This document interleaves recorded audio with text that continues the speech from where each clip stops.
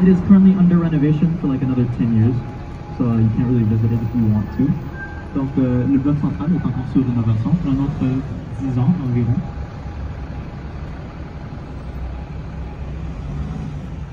On the right, you have the National Indigenous Building. À la droite, nous avons l'édifice national.